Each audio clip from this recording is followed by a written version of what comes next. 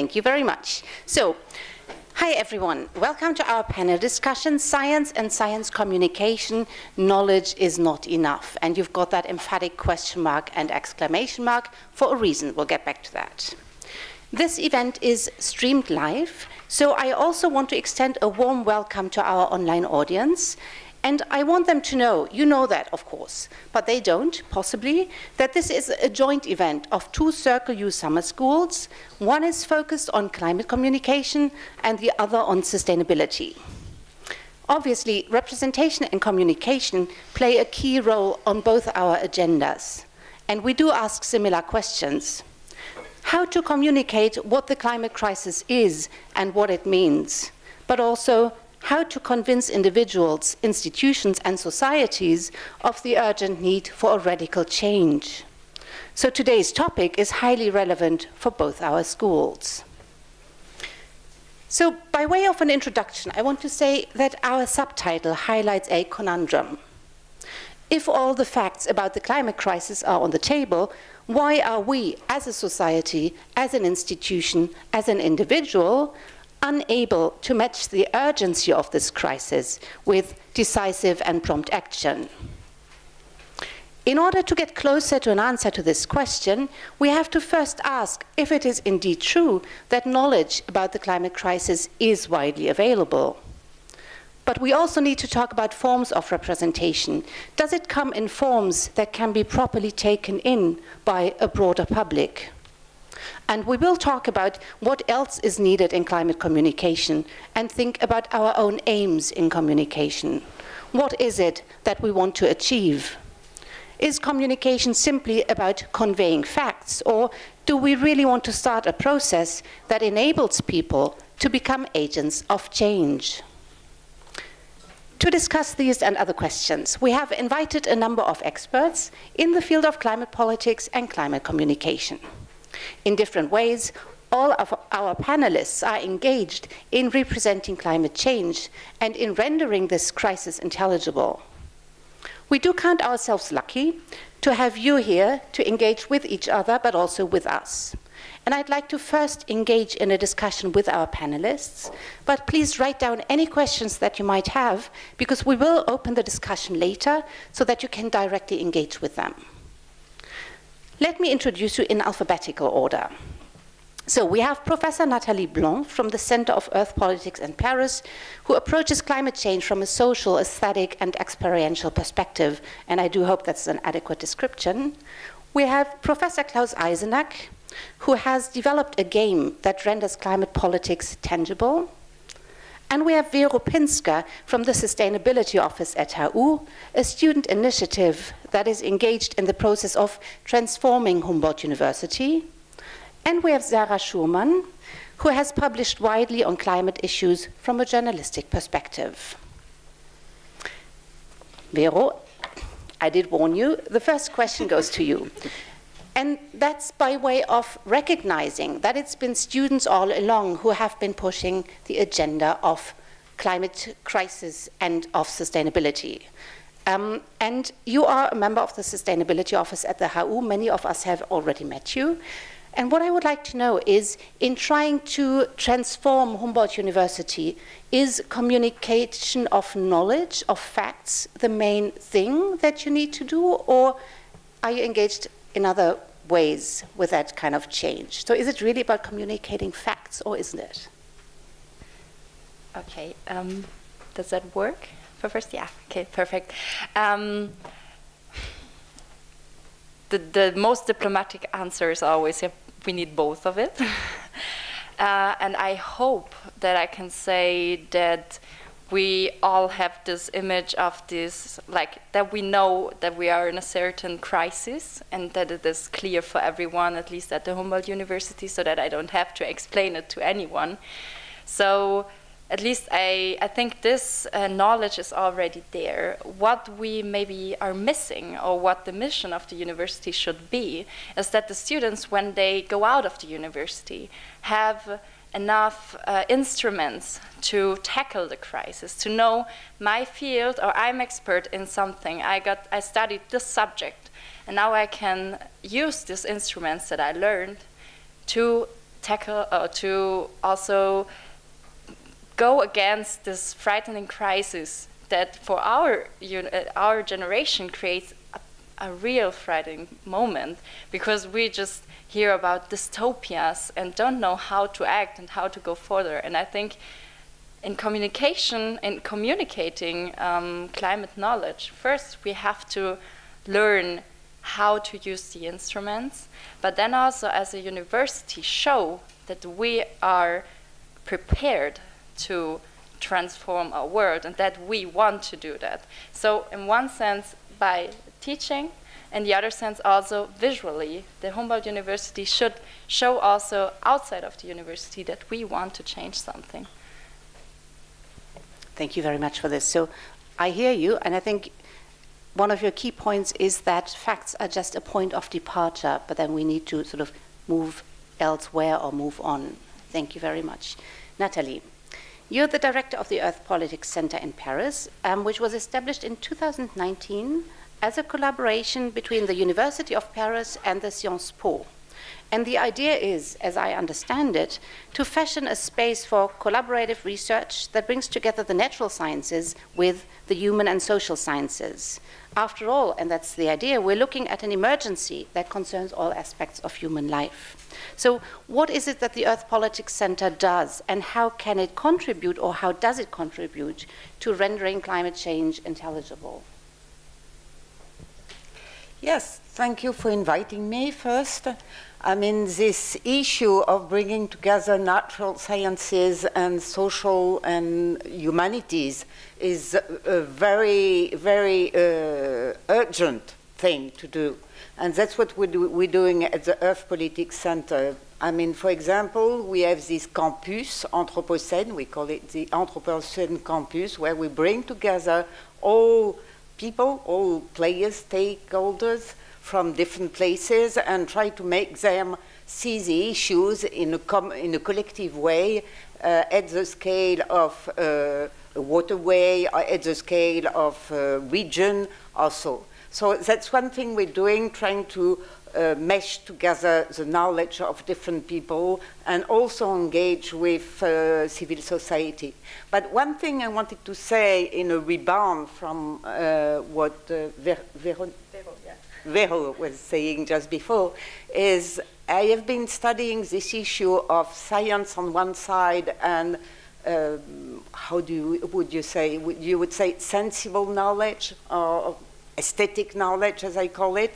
And you find that often that among people from whatever society, people don't refer to science to acknowledge the environment. For example, we've been working on pollution issues, which are very abstract issues, and even people who are sick from pollution don't go on internet for science. I mean, they don't try to check uh, what is the quality of air today in order to know if they can go out. What they do is they feel what is good for them today or not. For example, they look at the sky and say it's black or they taste the air with their tongue and say it stinks, or they look at the walls of their building and they say it's black, so it's polluted, or they take the cotton pad at the end of the day and say, see, it's black on my, on my skin. So they use all, we, we, we can say, aesthetics indicator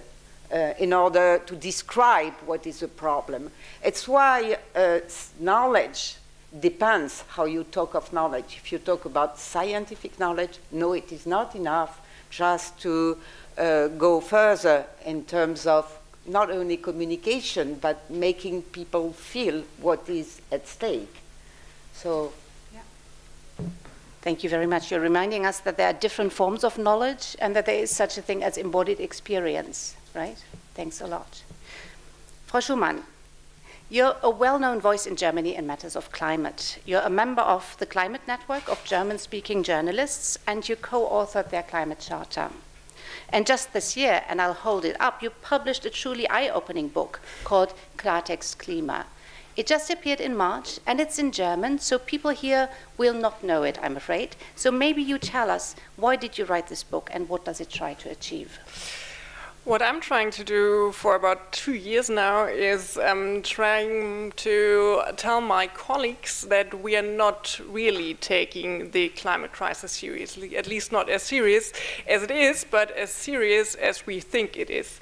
And um, what I was doing for about two years now was trying to explain the structural problems we are facing in uh, the journalism uh, sphere and how we could solve this and so on. And then um, I am invited for speeches and so on, and I'm giving a lot of interviews and stuff, and everybody then is nodding. It's like, yeah, it's, it's right. Okay, we should do really more about climate.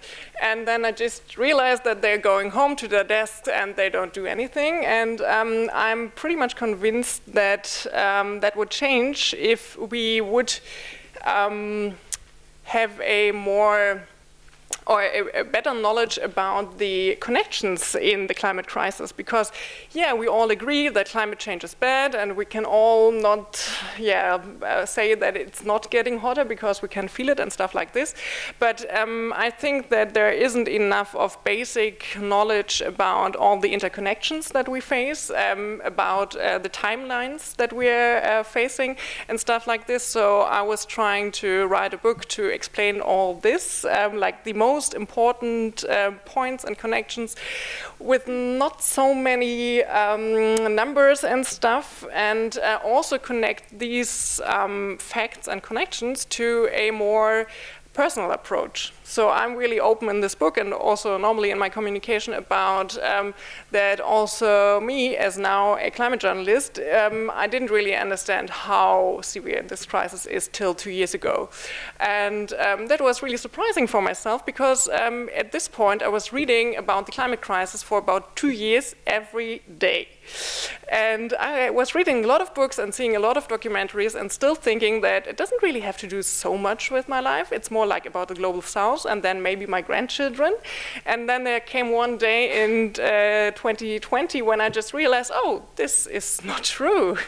And it's also not like we have 30 years to solve all this, but we have to do it now, and we have to do the main steps till the end of this decade. And this were all things I had read a lot of times and um, where I had heard a lot of uh, interviews with scientists and stuff like this, but I didn't really get what it means. And um, to really transfer this and make this understandable, it needs much more than facts, but like facts and connections are a very good base. Thank you very much. So knowing is not knowing? Or there are different sort of levels of knowing. That's what I took away from your book as well. And you had three terms that yeah. made this very clear. Do you want to? Yeah, I can um, introduce this. So. Um, when I became aware of the climate crisis, like maybe the first thing I did was talk to psychologists because I just realized, okay, it has so much to do with psychology, uh, why we don't act and stuff like this. And the um, psychological model is a more nuanced one, but I developed one that is more, I think, um, easy to apply on things. And that's more like we do have some different levels of awareness concerning the climate crisis. And um, the first one is um, kind of climate change. So yeah, we all agree it's really bad, nah, nah, nah, but it's also kind of far away. And maybe we're going to have some good surprise as well. Um, could be. And um, then there's the another one, the one that I have been like the two years where I was reading on it every day. It was like, okay, the climate crisis, it's really severe and we really should do something. And I stopped flying and I tried to improve my whole private life, but I still was thinking that I don't really have to do something about it in my professional life. And I wasn't really writing about it in journalism because um, I even thought, okay, this is some kind of my interest. So I, as a journalist, can't really write about something that is important to me. This is kind of a journalistic rule. And um, this is really absurd that I thought that climate change is some of my interest. And then just um, there is the uh, awareness level of climate catastrophe. So you know what the climate catastrophe is and what it has to do with your life, and that we don't have uh, so much time, if any, to really prevent it. And um, this is also really important when you think about communication because um, there might just make one jump further, um, I do think that the um, idea of positive climate communication, which is really um, known in the climate communication field, doesn't really work because it just works for the climate catastrophe guys. Because they might be uh, can't move and stuff like this, and they could be motivated by solutions, but everybody else will just hear, ah, there are solutions, so someone will implement them. And we have time till 2050, so okay, no, don't, don't worry, right? And um, so this is one of my theories. Thank you very much for sharing that. Herr Eisenack, you're head of resource economics at the HU, and adaptation to climate change features among your research interests, but also gaming and simulation. And you even developed, as I mentioned earlier, your own climate game. Now, in your teaching, you must be concerned with communicating knowledge about climate change. And as a fellow educator, I wonder about whether your teaching experience played a part in the idea to develop this board game. And I think we want to hear a bit more about it. How does it work, and what does it do for climate communication? Okay, these are many questions. um, since we are, I'm teaching in a, in a program called Integrated Natural Resource Management, so these whole topics are core of in the program what we are talking about here um, today.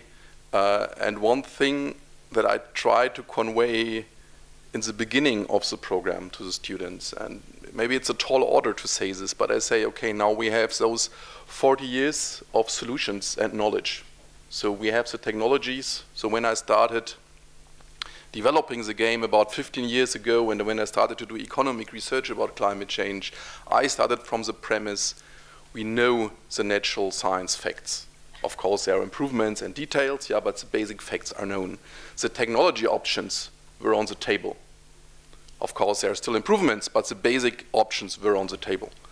Um, at this time, we thought, okay, we need to improve the policy instruments to make this real. And now, 15 years later, you see what happens. Yeah. So what I then try to say in the beginning is we need to be smarter than the people so far because they were not able to bring this knowledge into real action. Yeah. And of course, a single person cannot do this uh, all alone, and we need to try out different new approaches, new ideas, new methods, and also maybe new ways of communication as one component in the whole story. Yeah to bring it further.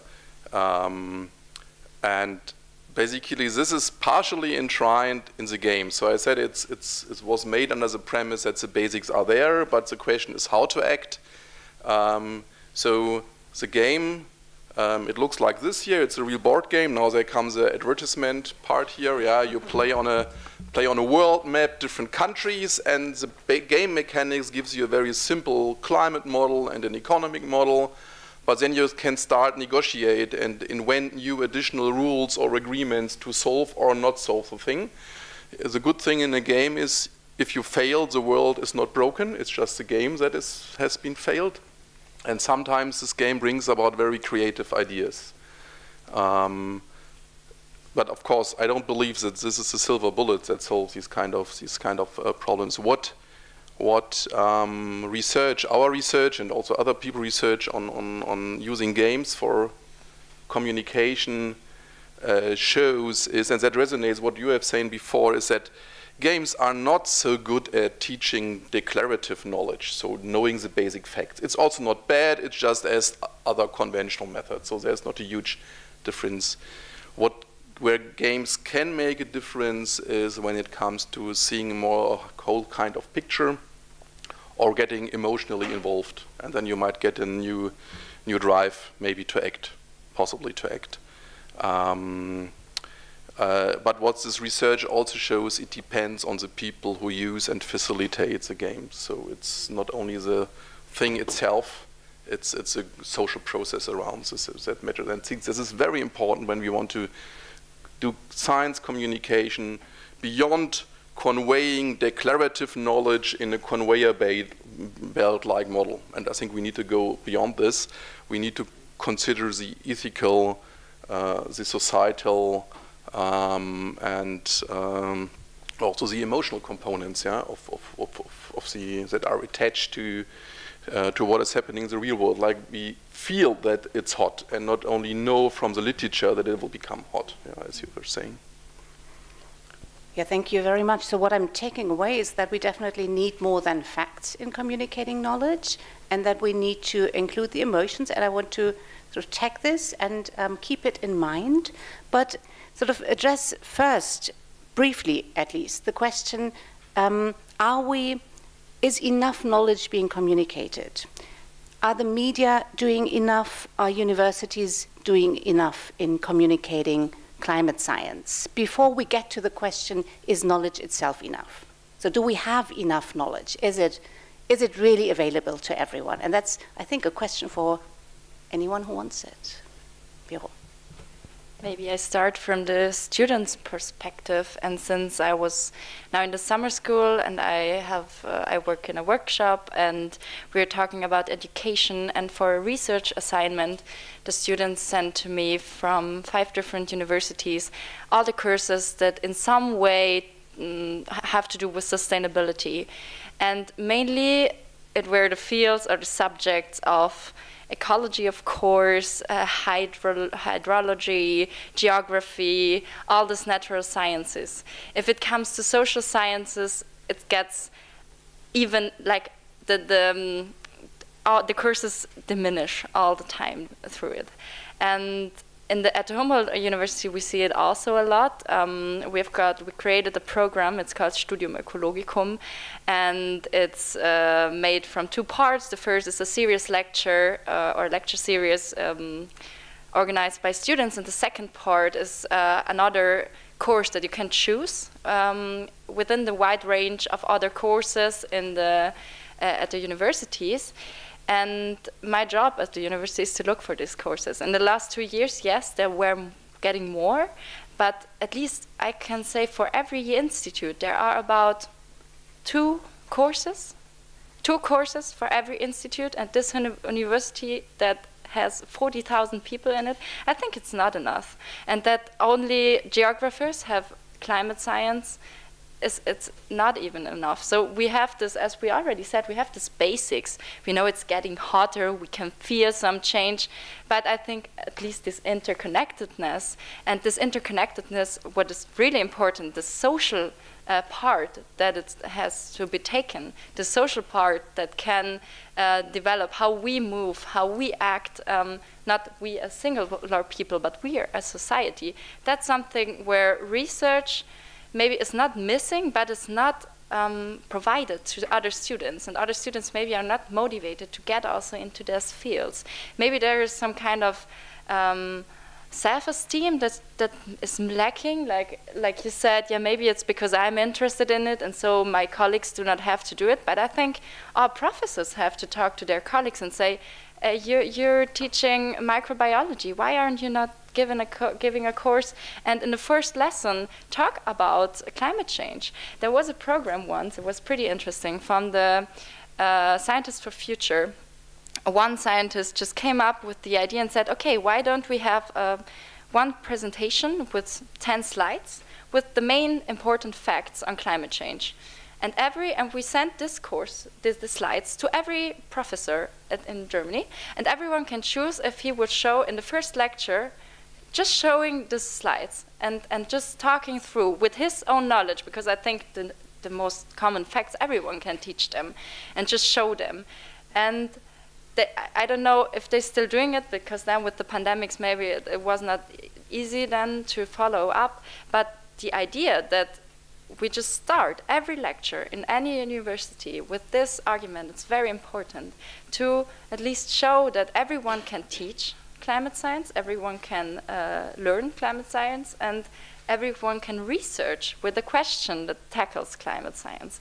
And I think that is very important for universities to start, and there has not been as going on enough in the last years. Uh, I would like to, to underline the fact that uh, social sciences and humanities have not been involved enough in climate science. I mean, it's like there are a lot of facts, and often uh, natural sciences are very well funded on the subject, but not so much uh, political science, for example, or not so much human geography or humanities, because what we need to learn is how to change. And we don't know how to change right now. We have the facts, we could say about climate, but how do we change?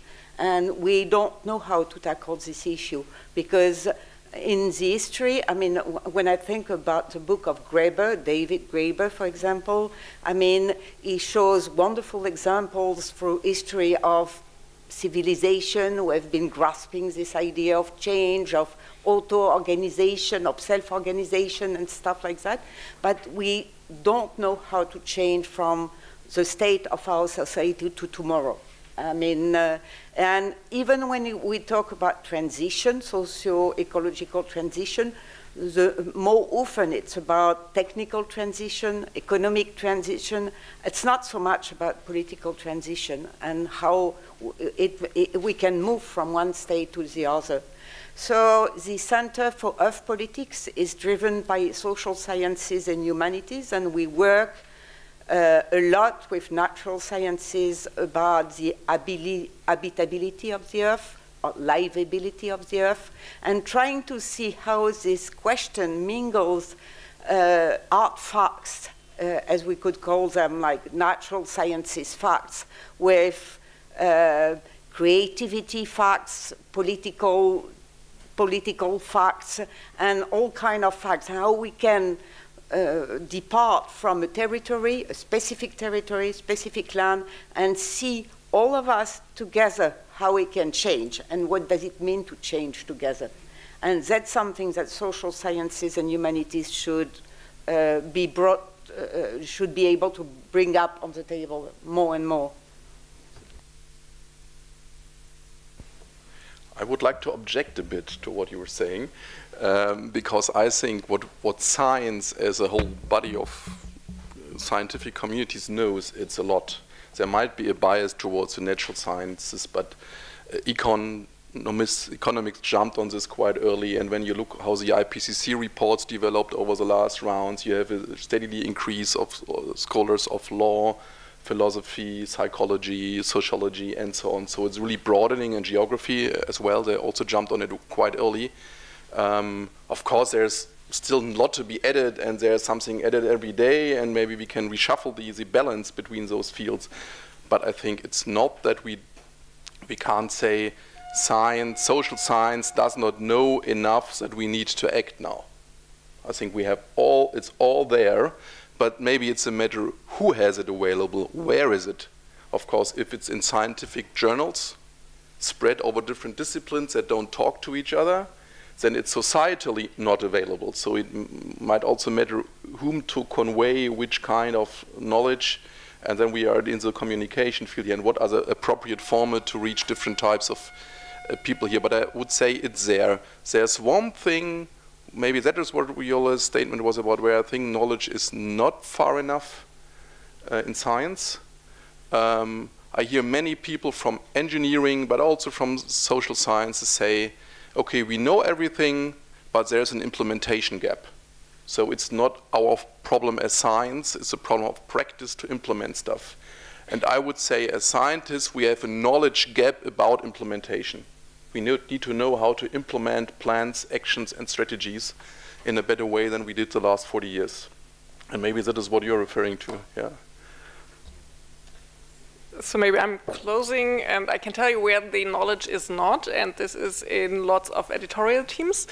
Um, this is kind of mean, but it also connects to what Vero just said. Um, I was studying here about 10 years ago, and I didn't learn a bit about climate science and about climate change and how this is all going together and affect, no, no, no. So this is also kind of unfair that I do criticize all my colleagues now all the time, but because where should they have it from?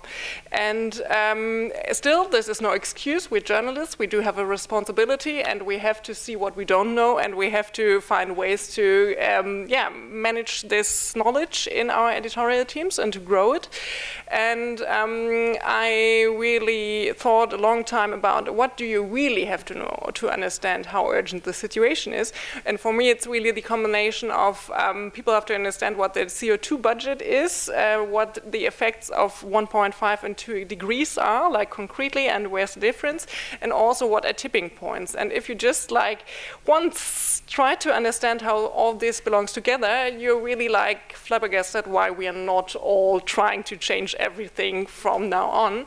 And um, I think um, this is also the same um, in many other expert fields. So many people are like, oh, we have till 2050 years, so it's 30 years of time. So okay, someone will get it started, right? And then I'm to go and uh, jump in.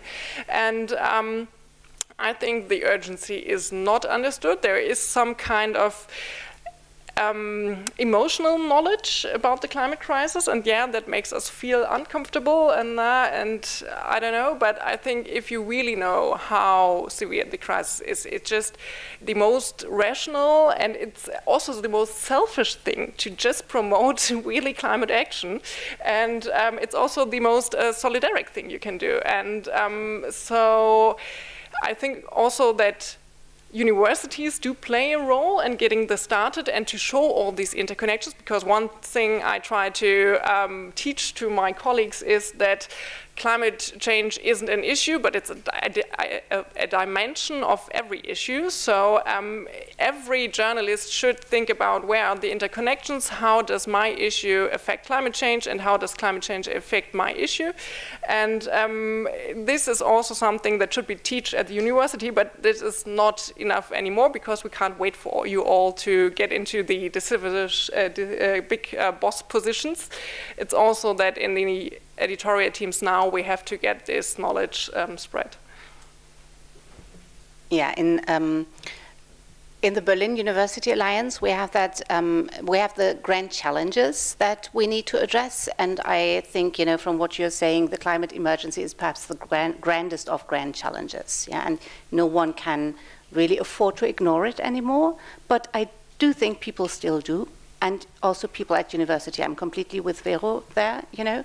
Um, there are still a lot of people who think that this is just one other topic amongst many others and who do not recognize the existential threat that this situation poses, right? And I also think it's very important to keep in mind what um, the two of you just said, you know, there, is, there are the facts, and they're not yet available to everyone, but they are out there somehow on the table. But then there's the knowledge about implementation. What kind of policies do we need? How do we implement them? And we had a very interesting keynote lecture from Eivind Engebretsen from Oslo. Um, and his point was that we need to recognize that this is also a political process. So it's not just a technical question, but it's also a political question. What kind of policies do we want to implement, what can we implement? That poses lots of ethical questions as well, of course. So thank you very much. Um, I think we agree that we need a bit more knowledge out there, but that's not all. You also said in your introductory statements that we may need more than facts, and can we talk a little bit about that? So, if you want, I do have a few ideas, but I'd like to hear from you. What do you think? What is missing? What else do we need apart from facts? In that, in that attempt to communicate to people not just the climate crisis, but also the urgency of the situation? I just wanted to add uh, uh, uh, an issue, the issue of inequalities. I mean, and uh, the issue of the public we're talking to. I mean, it's like we're talking to many, many, many, many people all don't feel they have the freedom to address this issue of climate change for whatever reason, I mean, belongs to them. So it's not uh, as, I mean, I, I, feel for many people and many students, the main issue of climate, the climate crisis is not climate itself, it's inequalities. And we can't grasp the climate crisis without delving into the issue of inequalities first. Uh, so I don't know how we talk to people who are who don't have enough to, to, to live on. For example, yesterday uh, our president, the French president, said that uh, we should give up on the era of ab abundance. Uh, but uh, some people said, well, we have never known that, that era. So this was a big mistake of communication from his part because he doesn't know about it even. So, but what I meant to say is, is we can't have the same bare facts delivered to whoever is listening to this uh, climate uh, crisis. And I think that we don't know yet how to address this issue of inequalities in terms of uh, tackling with the climate crisis. Maybe I would like to object that I don't think we have to touch the inequalities first because we don't have any time left for any first, but we have to tackle everything at the same time. And I also do think that. Um, getting the urgency communicated really changes our views about what are feasible solutions and what are not. So um, for a long time, I thought, okay, like every solutions I hear, yeah, sounds fantastic, na na na, but it's also like an utopia and it won't be possible. And um, just in the minute, I understood how urgent this crisis is. I just understood, ah, these are no utopian ideas, and like having um, an equal um, distribution of whatever will be crucial and absolutely existential to make us uh, sustain these societies because if not, we're going just to fight for resources and stuff like this. And uh, we also have to make all this um, doable for a lot of people. As you said, many people can't afford to even think about all this. And so um, I think we would have to tackle this in, uh, yeah, in the meantime. And um, for the question, what we think is important, um, Normally, I see uh, I say emotions, but we already talked about this, and I would say uh, connections. Um, I was teaching uh, about um, the journalistic uh, possibility of um, uh, climate communication here before, and the um, participants uh, just told me that um, the climate school was the, the summer school was focusing on individual change um, in behavior change and stuff like this. And I think this is no good focus because we should more focus on how individuals can change systems, and they can because we are, are citizens and we all do have bigger levers. And um, also just focusing on individual change uh, might just make us all feel bad and not face this at all. But um, showing how all the interconnections are and showing how you can get active and really change something in your community and thus change the norms and values in the society and thus make politics possible that make this change possible for everyone is really, really important and also really empowering for people.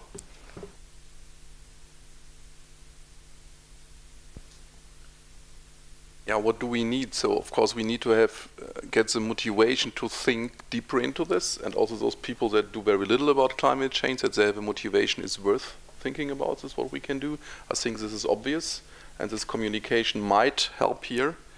Um, and I completely agree with what you were saying. So when we want to deal with climate change, it's not only about changing individual behavior. We need to change the societal institutions we have in a way and if communication works, it helps us to um, think about or develop strategies how to do this. Yeah, and but this is a, that we, that's not only teaching the facts. This is about having a discourse about which strategies could work uh, in this in these challenges. And a, a third and last one I want to mention, and here I'm now skeptical in the last years if you had asked me three years ago, I would say we need to have optimism. yeah, because if you are not optimistic, you become a fatalist and you do nothing. You learn nothing, you do not act, then you're failing on all these different uh, respects. Um, actually, now we experience climate change in, in Europe in an obvious way individually. Um, we are just in the process with this game, so that was when we designed the game, we started with the situation 1990, and we now have a project here running with the Humboldt Forum of, of updating it to a starting year 2020. And with all our testing games, you fail. So, okay, this is just maybe a bad game design, you might say, but it's an anecdote that tells what we think about, possibly. So, can we really be optimistic, or are we naive? If we are optimistic, but if we are, but fatalism is not the answer. So what could then be the right attitude to approach this? I have no answer to this, but I think this is an important thing we need to discuss about what could be mindsets or frames that bring us further, whether this is um, courage or despair or, or um, uh, yeah, some other kinds of feelings we can at least abstractly or analytically attach to what we are doing here. Maybe I would spontaneously call it a radically realist, I think, because uh, we have to face that we're really, really, really deep into this crisis and we destroyed a lot. And there are a lot of things we can't fix anymore. But it's also a really realistic view that we can still change so much and preserve so much. And I think this is a um, good part to start from and just, yeah, also take much power from it, maybe. Bill, go ahead. I, I, just waited. I thought maybe um, the people who have more experience in life can uh, teach me something. Um, but no. yes, of course, importantly. But something that I sometimes miss is, uh, or what I would say, uh, what you like said. Okay, now where are we now? At least in history, or some anecdotes of the grandma or something always says like if you're really at the bottom of something, you have to get creative and then you can evolve new ideas and get out of something. And I was thinking, like, maybe also you can answer just nodding or something. When you started university, when you started in your 20s, did you know where to go in life? Did you know what will happen? Did you know I will get the scientist? I will write a book about. I don't think so. And I was like, okay, I think all of you, maybe you can also say, who does not know what to do after the university? Yeah, just for the public online, it's more than the half of the people. So I think we all have to get creative after our universitarian career, like we do our bachelor's and master's maybe. And when we start acting, we have to be aware in which world we are standing. On the one side, we have to know what has been destroyed and what we can save. And on the other side, we have to also, uh, I, I think sometimes this, this mourning has never been like we have to acknowledge some things will never get back. And it's okay. We will go on living. Otherwise, the other option would be, we, yeah, uh, no, I don't. I don't want to call it. But we want to live, and we want to live in a life. We want to live together. And I think if we all start thinking out of all of you, how can we change something? And then, importantly, don't think just how. Uh, we can engage in society or do something, but we have to think it bigger. We have to think how can we change as a society. And we here as in a university are the people that learn to think through it and learn to think. I, I, was in a workshop also two days ago from Wendy Morrell, and she was talking about uh, system thinking. We have to start to think in systems and analyze them with different views. Like all of us, we learn different methods, and also you, you have different views, and we have to work together to find out some solution, maybe for small things, for bigger things, and then also encourage ourselves to go to decision making people and really go there and propose these ideas. To make an example, um, I have to choose which one I would wanted to say. Um, yeah, maybe this as a, as a students' un, um, initiative, uh, we won a prize from the French. Uh, we were like it was a, a prize from um, it was called Europe, um, Utopia Europe and we had to think about one project for the EU Union that can change something. And we were like sitting for, for hours and hours discussing, and then there was the solution for us. Um, we called it the recovery position for climate. That would be like, you know, all the different companies where there are working enough of people, they have to have someone who has a um, uh, first aid course. And we said, why hasn't like why does there not exist a first aid for climate? Because it's now we have to, we need this necessary instruments all of us do need them. And so maybe we here are at the point where we have to create these instruments and then through communication give them to all of them. And then maybe we can also arrive to the global south which where it is almost needed because um, not bring it, but at least also recognize which um, right like how much economically the north has um, really destroyed the south. I'll say so. maybe with kind of these metaphors, if we start thinking on really on how we can change, and also, I think it's important also to say I I have no idea and sit for a long time and believe in yourself and think, then you can come up with great ideas together.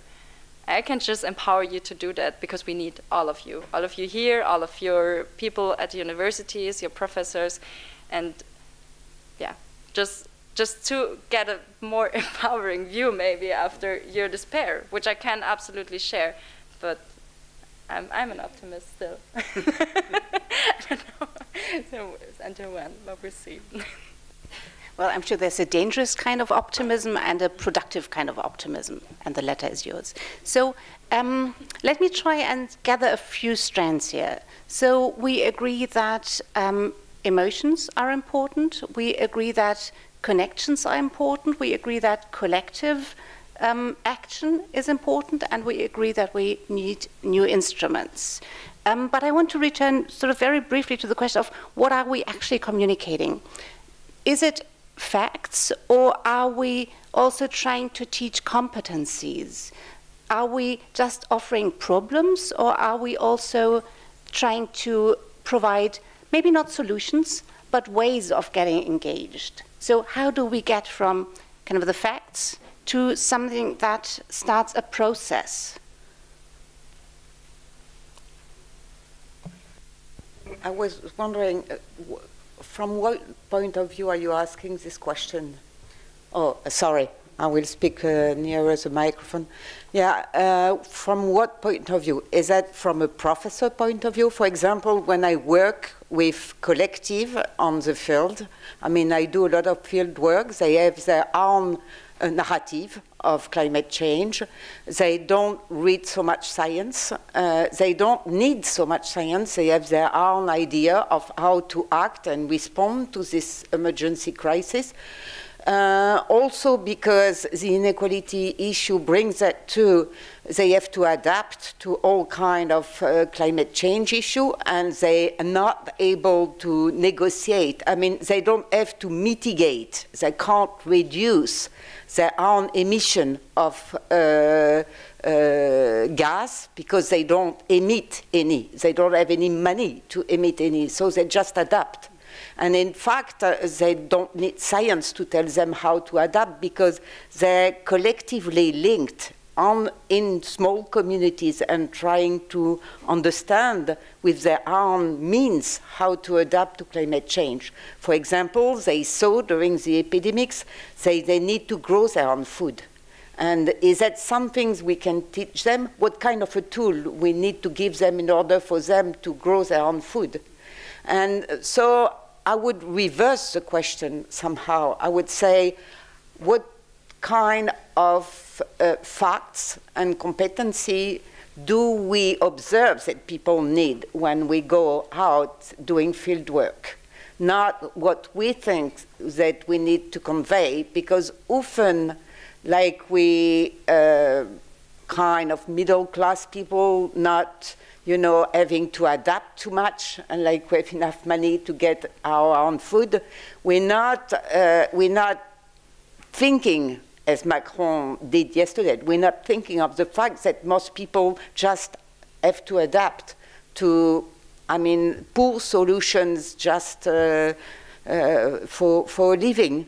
So I, I, think we do, we do need to do field works and to see what kind of competencies, facts, and, uh, and ways of implementing this climate change adaptation ways we need. I don't know if it was clear. I hope so. Very much so, I think, and I think you raised a very important point. So I was asking from the point of view of half of our audience, the Climate Communication School, because I'm assuming people are here because they're interested in this topic and might do something in that field, perhaps after they graduate. But I think your point is extremely valid. So maybe it's not just about sort of feeding people facts, but about seeing where those people stand, where communities stand, listen, you know, and interact with them not in a we teach you something way, but in a what does your life look like way, right? Mm-hmm. Absolutely. I would definitely agree that science communication is more than teaching facts. I think that's sure, but I think it's. I'm not a communication scholar, but I think it's a commonplace that communication needs to be tailored to the audience and the people you interact with. And um, so, science communication, when you are in a in a say a governmental um, uh, counseling body or so, it's different than here or in or in the in the newspaper or in all the other different fora where science is communicated. And I think that's there's not the one and only way to to to do this. Um, I would also be careful with saying that uh, conveying emotions is important. That can be easily misunderstood. Um, so I think it's important that it's not just that you know things as abstract thing, but you see that things that you're knowing are relating to what matters for you or people, or that you have that, that you feel maybe responsible to use your skills for certain purposes. So uh, these are, of course, kind of emotions. Uh, but it, I think replacing science by emotions that I just think because I feel it's like this then you open the door for, for all these um, um, alternative facts approaches. So it's really, I think we need to be careful when we talk that we need to teach emotions here. Yeah, um, I think we need to um, uh, teach uh, commitment, ethical standards, way maybe to analyze your emotions that you can um, deal with them or convey them in different ways depending on whom you're talking to. Um, so this is why I'm also skeptical. I say, okay, we just need to have more teaching on climate at universities. Maybe that's fine, okay, yeah. Um, but it is of no help if people who are talking or with decision makers or are decision makers, elected or dictators or whatever, uh, if, if, those people don't speak about climate change, this is important. And of course, this is more difficult to achieve. Yeah, that is why I find your project here quite interesting. That is one, maybe one with, with journalists. That is one important leverage point to get beyond the one-to-one discussion on the kitchen table. So I want to open the discussion very soon. But now that you know this, you have time to think, and I have time for a last question or problem that I'd like to address.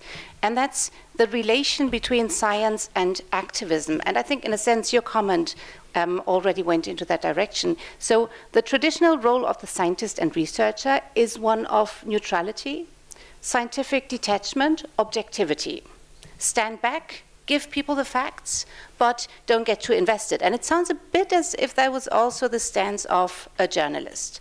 So, do you think it's time to cross that line between science slash journalism and activism, or is that a dangerous thing in itself?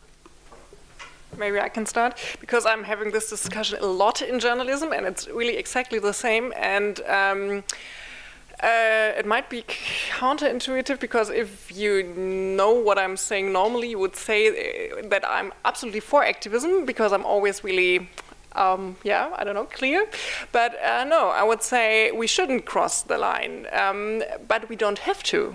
So what um, is the same for journalism and science is that we don't tell people what they have to do, but we tell people what they are making um, choices between and which are the uh, possibilities and which are the ways.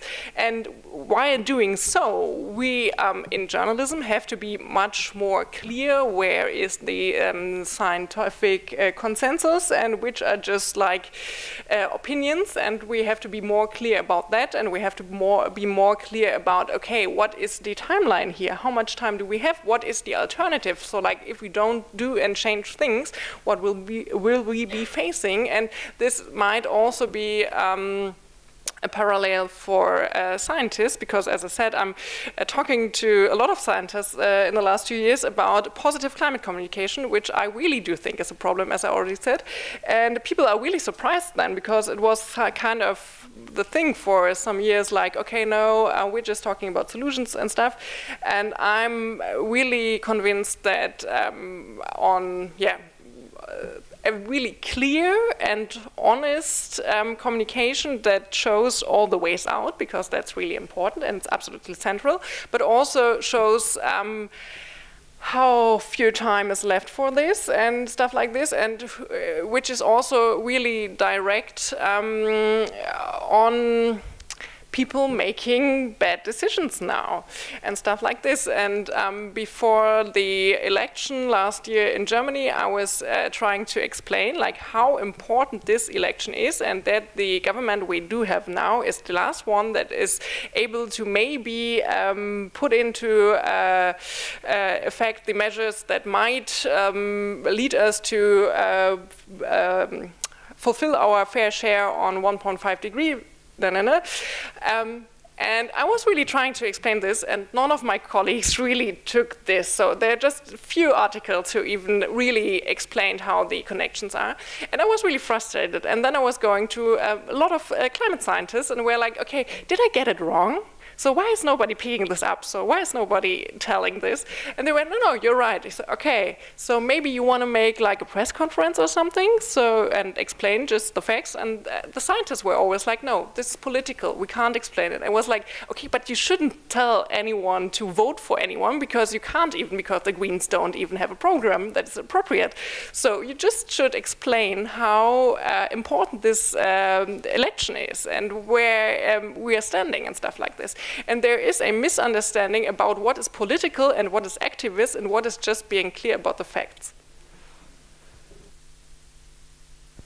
Okay, it's burning inside of me because I have to object um, a bit. Um, uh, on some points, I agree, and others, I think journalism is really decide like they can decide on what they're writing, and when they write about or also science about activism is so one-sided they're all i think they're never doing a clear neutral position and write about something that happens neither on like if you for example two and a half weeks ago there was a climate camp in hamburg it was it has two it had two purposes. On the one side, they did civil disobedience and uh, climate action in the city, but it was a huge camp I was there also. I got, went to many workshops. I got informed. There were uh, very informal ways of learning, and it was focused on a decolonial, decolonial perspective. It means that there were two times panels and also uh, a press conference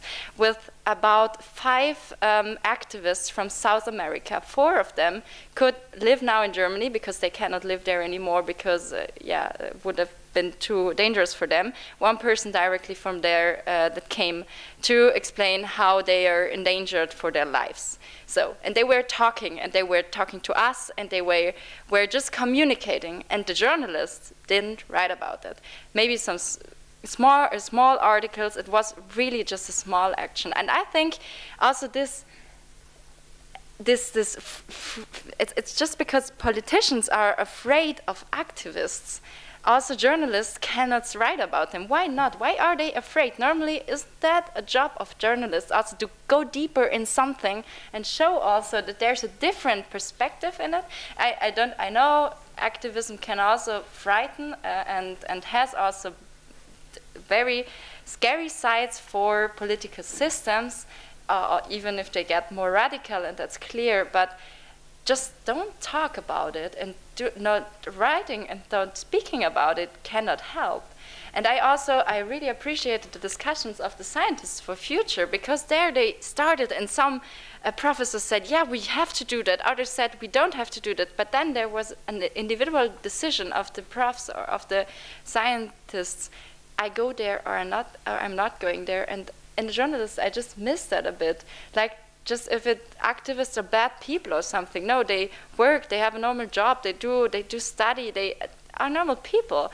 But on the other side, maybe they fight for their justice in different in different um, um, yeah in different relations like or in um, uh, activity groups like with Extinction Rebellion or Fridays for Future, and yeah, I really miss a neutral perspective on it. Maybe also because I write now my bachelor thesis on uh, civil disobedience, and I was so scared that I said, "Wow, I always uh, thought it would be something very." Um, mm, like politics say it's something very dangerous, but at the end the definition is nothing dangerous. It's just a very um, like people who really civilly wanted to show that there is something not going well. And if they get um, if they get um, like they, they, they want to use forces or something, it's not civil disobedience anymore. In the discussion, in the philosophical debate, and in the in the historical debate, but journalists actually are still writing about it like this, and I don't understand why. It's really really scary, and I think we should I, I just stop. We just more push the idea that we are all activists than say no no no. With activism, I don't have anything to do no, if you want to change something, we have to get active. If we call it activism or not, why do we always have this, this names that give us fears? I don't know. Maybe you can explain it to me. But I was really lost two weeks ago when nothing was written there. Yeah, it's not that journalists are afraid. It's more like um, what they choose to write about and what not just reflects their view on what is relevant and what not. Okay. And it's even more sad, I guess. But um, that's just yeah, that's the thing. We're not afraid of politicians or anything or whatever. It's just like like this. And mm, to be honest, like my a more personal stance from my side would also be to call for more activism and personal engagement and stuff like this. And the the point about like we don't have to be activists, um, I think it's valid still because we don't have to as scientists and journalists. Um, and it's also like the notion that uh, helps a lot of my colleagues to even get more active and more direct because in science, as you said, and also in journalism, this is really a, a um, big difference and a big gap and uh, you, you can't be activist because you can't just like lobby for one thing you think is important. So we do have different roles but still everybody should get active. Thank you very much. So we need to open this discussion very soon, otherwise, we're running out of time. But if you want to have a half minute statement on scientists and activism, Nathalie Eisenack, please go for it. You first. Please go. Okay, I try to be short, but I think so what you're, what you're uh, with this question, you're challenging this truth speaks to power model. Scientists know, and the decision makers get it, and, may, and maybe journalists also produce the truth through research and then pr provide it to the uh, decision makers or they serve as a conveyor belt between scientists and policymakers. I would say, although there are still some colleagues that like this kind of model, and maybe there are also some pockets in science where it makes sense, overall, this is over. And here's also, we don't speak about new knowledge here. I, the early writings I know about this discourse about, are from the 1970s, that this is over, and you can read uh, Max Weber, who already reflected this in a very well way more than 100 years ago. So this is, this is indeed not new. The question is how to, how to design this relation and what kind of modes we have, and then we are back to the different formats and different audiences. I think that's very difficult. We created the regional IPCC in France in different regions, and we're discussing our social sciences with natural scienti uh, scientists about commitment, engagement, activism even, and they're very afraid of it. So it means that if we want to stick together as an interdisciplinary, gr uh, interdisciplinary group, we need to be very careful about how we engage in society. For myself, as a person, as a scientist, I am very much engaged because I think good research means engagement somehow and subjectivity and you know and bringing facts but facts are always colored with values so we need to acknowledge that. Thank you very much. So now you had plenty of time to think about your questions. Feel free to voice any concerns comments questions. There is a mic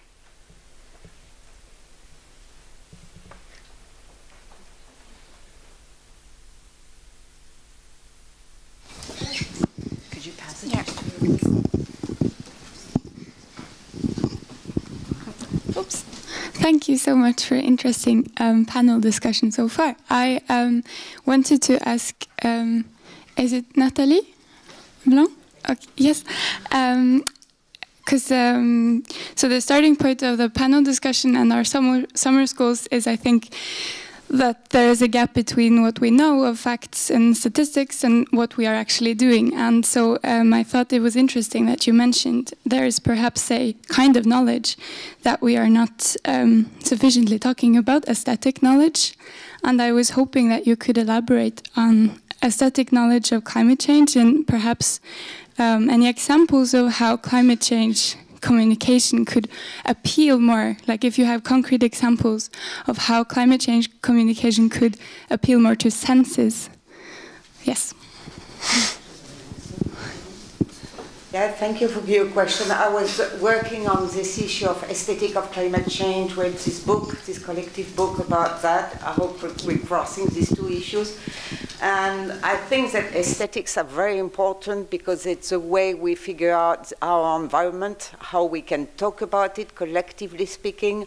I mean, uh, am I talking about the earth? Am I talking, uh, uh is it a round earth? Is it a square earth? Is it a wor- uh, uh, an earth deprived of human beings? And how do we represent it? Why do we choose to pick out a round earth as uh, something we should protect? All these issues of representation are very important, I think. And they're very more important today because with the threat that uh, climate issue bring to our existence, we need landmarks, as I, uh, as I said this morning. I mean, we don't know what kind of representation we need in order to be able to pursue our lives nowadays. Because climate issues, climate crisis, uh, shatters all our landmarks all our ways of seeing our lives in this world. For example, as I was telling uh, the students this morning, we can't talk anymore about the same climate zones. We used to talk temperate zone, uh, tropical zone, and such. So, so, so everything is being shattered. So I think we could talk about vertigo, and vertigo is an aesthetic experience. I mean, it's a, a, a vertigo about facts and numbers. It's an existential vertigo. It's also a vertigo about the sheer size of what means a climate crisis. We're unable to grasp it, collectively speaking. It's part of the problem, in fact, that uh, we don't respond to it because it's just so huge that we don't have the way to represent it. And I think it's part of the aesthetic question in terms of climate issue. Anyone else?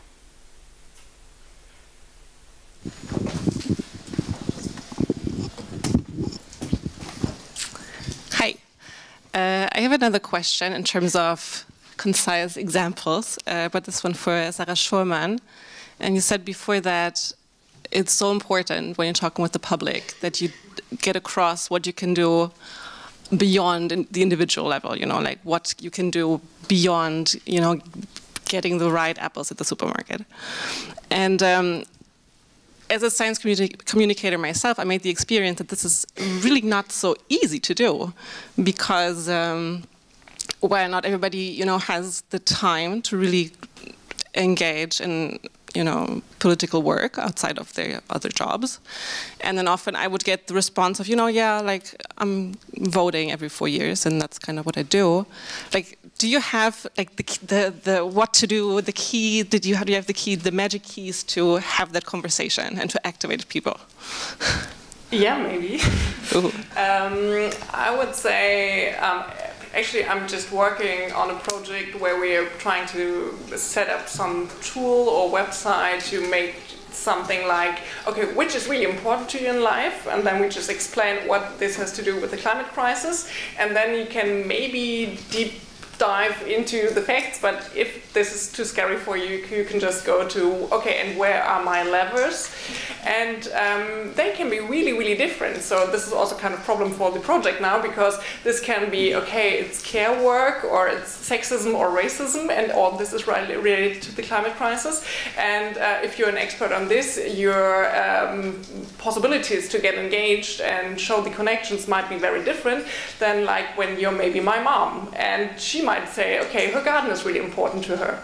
And then you can also show how this is influenced by the climate crisis. And then um, what is the answer of what can she do? And when she says uh, her garden is really important to her, she uh, should go to the local community and uh, labor for. Um, a sustainable water management. She should um, force them to stop mowing the lawn because we really do need the biodiversity, stuff like this.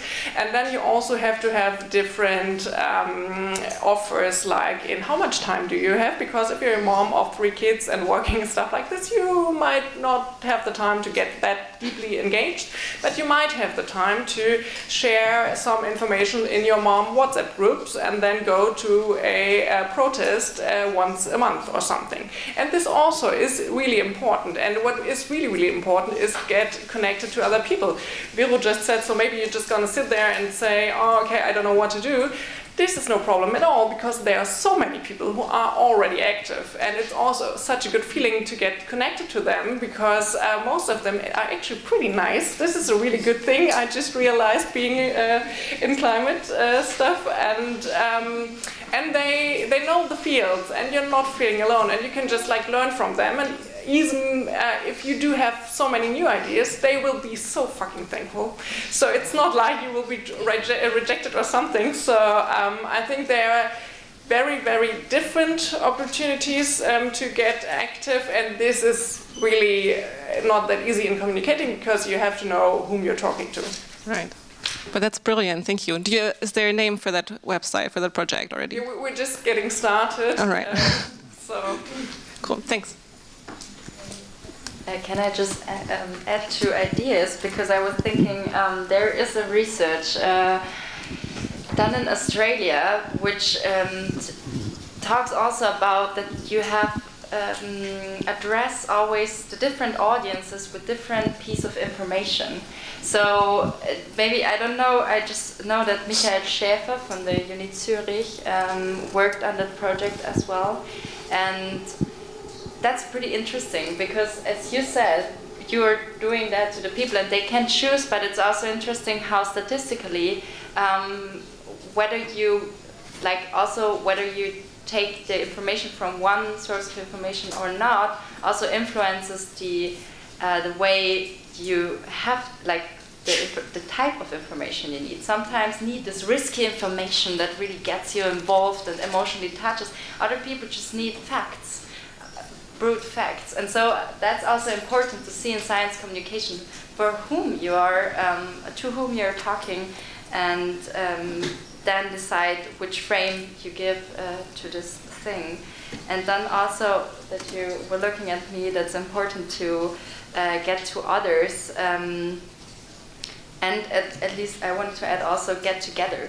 Just um, it's just interesting if you talk with startup people and they say, yeah, we sit in a bar and then we develop this idea. Yeah, but first you have to talk about things. So just talk about climate change, talk about social uh, justice and stuff. And then you will get some idea. Even if it is um, like also this texting around, it's really underestimated. It can help so much if you like just petitions and you think, okay, I had a friend who always on Thursdays, I don't know, it was his day, um, he sat at home and uh, signed up to the national side of the petitions and read along all the new petitions and signed them.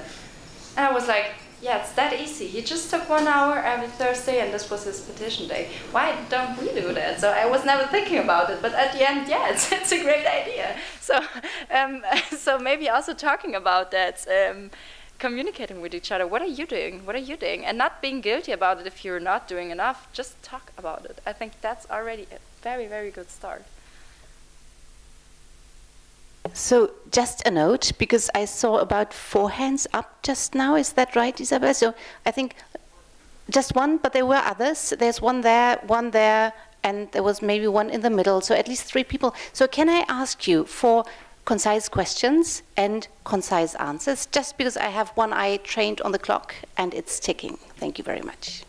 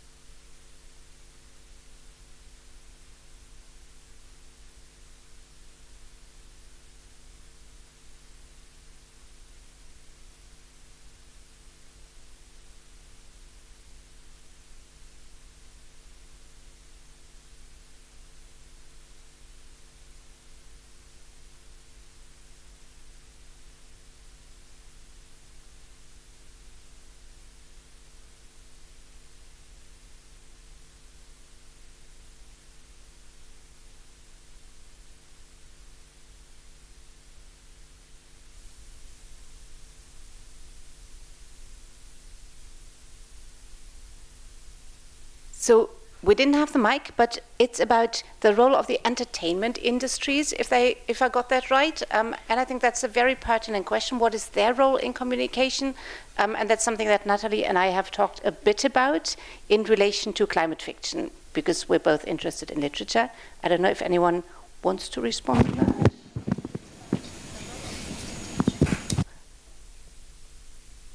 I think there is an issue of example. I was working with circus and people from the live performance sector, and they're wondering how to act, uh, and they want to engage this issue of climate change, but it means for them not to go on the road anymore, just not to be everywhere like they used to be, you know, even for great artists or great comedians or great dancers and stuff.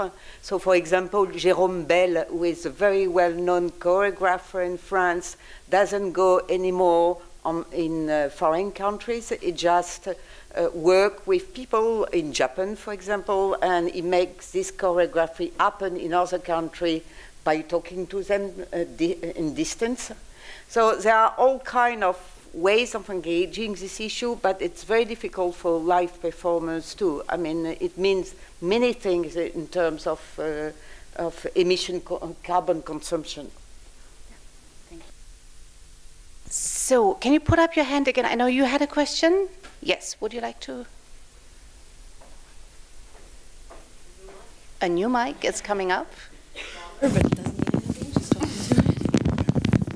Thank you. Um, my question is about framing and creating a vision. So, because I know the situation is pretty grim right now, but what I'm often missing is the uh, message um, in the media and in science that we're actually not saving ourselves when we do something against climate change, but that we create a better world for everyone. So, what do you think? Why is this so rarely talked about, and what can we do to really show that? The life of everyone will get better and not be not just not allowed to fly anymore or stuff like that. Maybe I would uh, take this question. I was just talking in the workshop I was giving about this. Um, I really do think that as long as we're not facing how bad the situation is, all of this seems like an utopia. So um, I think that these are two parts of the same coin or something. In English, it's other way around. But um, so um, you have to first realize how bad the situation is to really imagine and think it's possible to change all this and to really have the good effects. Um, someone mentioned um, systems thinking, so multi-solving. It's also so important, and I think the last years I did sometimes read stuff about this. I was always like, oh yeah, nice. So someone's going to do this, I guess. And now I just know, okay, no, this is like really mind blowing. It's really so nice, and we we can really dream of also better effects, better cities somehow. Yeah, things are going to get complicated, but also we can win so much and we can uh, save so much. But this, um, yeah, you have to get transported. That's not just a dream. So on my list, I have two more questions at the moment. The gentleman here. No, no, we still have five to ten minutes. And then Sue. Can you hear me? Yeah. No. We have a stream. Oh, yeah, of course.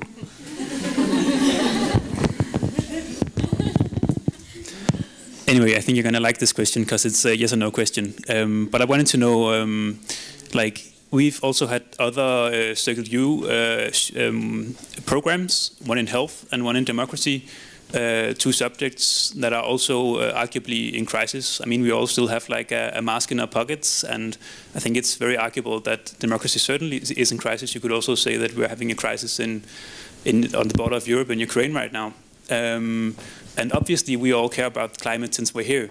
But given that people have at least four uh, crises to worry about right now, um, and they also have lives of their own personal uh, crises to care about, is it fair to expect people on, uh, as individuals to combat climate change when they also combat uh, other things in their lives?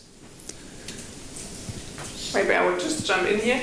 Um, interesting thing is that all these crises belong together because, like, uh, we're not only facing the climate crisis but also the biodiversity loss and some other planetary crisis that we rarely mention. And um, the reason why we're having this mast is because of the biodiversity crisis. Um, and um, so health and climate and all our planetary crises are really, really closely interlinked.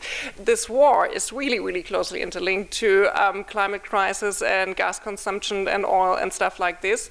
And um, democracy um, will be very much much under pressure um, when we are facing all the consequences we will see in the climate crisis. So I think we should also there maybe in the summer schools just like look where are the interconnections and where are the levers to really change things maybe. Thank you very much. Would you like to no. There was one more part of the question. Like is it fair for individuals to maybe you want to answer um, yeah, maybe this was the part that I was uh, more focusing on because I think it's not possible to not do it anymore.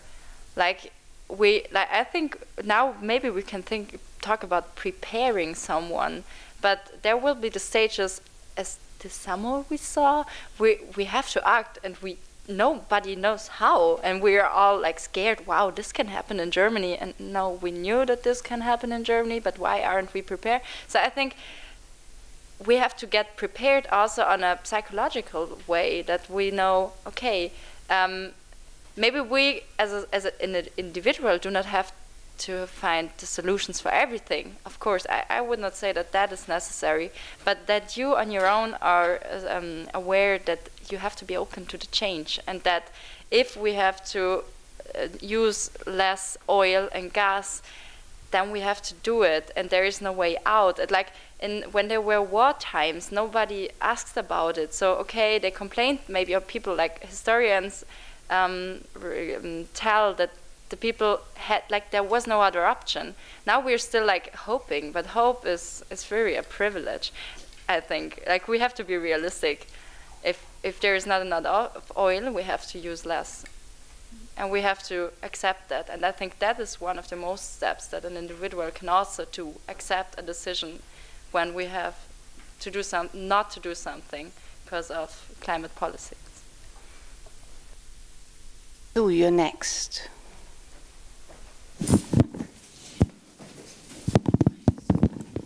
Thank you very much. Um, thank you for a wonderful discussion. Um, I've had um, the little bit of discussion you started on about objectivity and uh, um, emotion and, and those things going around in my mind. And it's made me think about um, how academics present their role, the role of their research to society and also to think about what we're trying to do through our teaching, um, the kind of um, things we're trying to enable our students to be able to do whilst at university and in their future roles in, in society. And I'm speaking as an anthropologist, and until the 1970s, anthropology dressed itself in a cloak of scientism. They believed that um, uh, to be a, a respectable science, you had to look as if you were a physicist. And to look like a physicist, you had to pretend that there was something called objectivity. Although there was something called the, the science of observables, I think, which kind of undermined that in physics itself. Um, and so the, it had to, there was a kind of scientism that spread through the discipline. And in the 1970s, and of course this is to do with the third wave of feminism, um, there were a lot of anthropologists who, who began to think about the fact that no, we're not objective, we're positioned within society, and we are, as researchers, we are the main tool of our own research through that positionality in society, and we're studying everybody else who's also positioned in society. And that, therefore, research is often motivated by the things that we take seriously. And I think that science is also often motivated by the things that scientists take seriously. But there was one particular anthropologist, Laura Nader, who came out with a wonderful statement that being motivated by indignation is perfectly acceptable. Um, I think we've got to beyond indignation. We're now uh, got fear and anger. Um, and I think we have to find a way of conveying our research in a way that doesn't look, on the one hand, as if it's anecdotal positionality, but on the other hand, shows that how it's justifiable, rigorous research that is motivated by personal commitment. And that kind of engagement needs to come through in the way that we talk publicly. And I don't think we've found the style of communication that enables us to do that yet. And from what you're saying, I don't think journalists have either. So that's one side of what I'm thinking about. And the other thing I'm thinking about is so this student activism thing that you've been talking about and how it frightens everybody, some people. Um, since the 1990s, I don't know about Germany, but certainly in Britain and Denmark, where I've lived, universities have been subject to a torrent of demands, really, that we turn ourselves into neoliberal organizations and we turn teaching into a form of creating neoliberal subjects. I mean, I'm using shorthand here. Um, but that they won't only act in ways that uh, act as consumers and try and get good marks and uh, try and get through a system to come out the other end, but they will take that way of thinking into their world of work and into the world that they create around themselves in the rest of their lives. And we have to think that that has to come to an end now. And so the question is then, what kind of education do we want to be providing for our students? Or what do we need to enable them to be able to provide for themselves? And my kind of fumbling towards an answer to that question is that we have to generate critical thinkers who can use their knowledge and their research skills to turn that into action for change in the university and in the world. And again, this summer school has been brilliant in showing the way to do that, but I still think we've got a lot of thinking about how we do that. Thank you.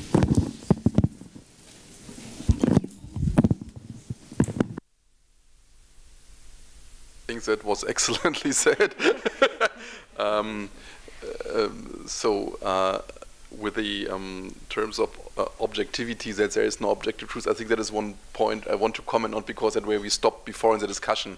Because if you say scientists and journalists are always positioned, so then the question is, so what? That is not an arbitrary thing we are doing here.